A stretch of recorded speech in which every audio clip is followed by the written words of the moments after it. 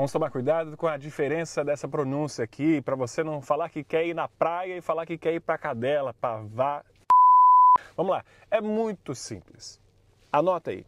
Geralmente, geralmente, quando nós temos esse encontro vocálico de E com A ou E com E, é A, é E, o som é de I, I. E no inglês, o I tem som de E, geralmente. Ou ele vai ter o som de I ou som de E. Raramente o I tem som de I de verdade. Então, nesse caso aqui, literalmente, o E tem som de I e o I tem som de E. Logo, praia é som de I. Beach, beach, beach. You'll be on the beach with the first wave.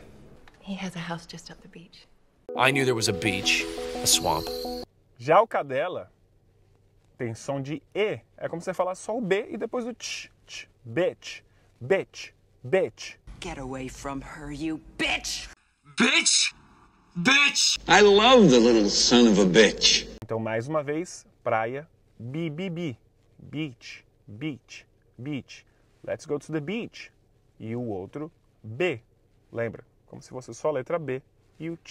Não é batch, é B, B, B, B, de bebê. Bitch. Son of a... You son of a bitch! Gostou? Quer mais dicas de inglês? Então me siga. Bye bye.